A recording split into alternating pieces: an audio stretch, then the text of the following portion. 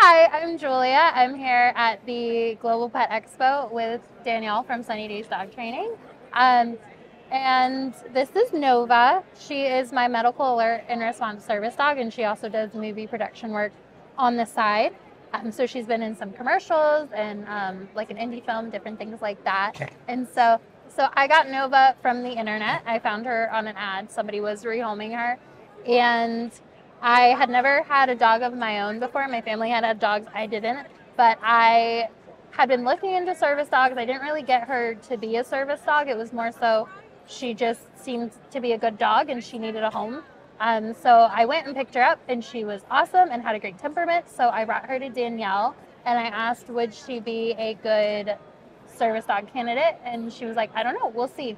Um, and so, a little bit background about Nova and I is I have a rare neurologic diagnosis, and um, the only option was looking like getting a service dog to maintain my independence um, because the other options just weren't working.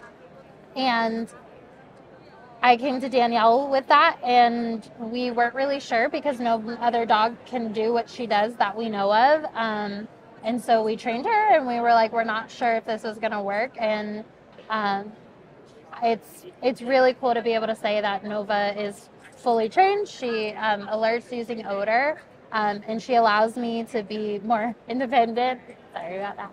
Uh, she allows me to be more independent, and so now I'm able to do the job that we do, which is I'm a pediatric physical therapist, um, and I own a company named Supernova Pediatric Therapy, and I named it that because Nova allows me to have independence that I wouldn't have been able to have before. And so now I'm able to help give independence back to children and families. So that's really what Nova is about. Um, and I'm just really thankful for her and really, really proud that we can say that she's a rescue when people ask about her being a service dog.